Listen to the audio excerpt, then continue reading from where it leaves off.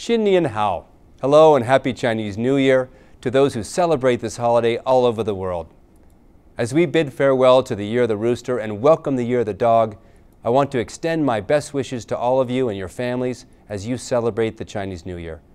In 2017, we demonstrated excellence in many ways, achieving a lot of important strategic, financial, and business objectives, launching exciting new products, opening new facilities, contributing to our communities, and rolling out our new mission, vision, and values, our story. Your role in these efforts is ultimately what made us successful. The Year of the Dog is characterized by action, and I can't wait to see excellent action during this new year.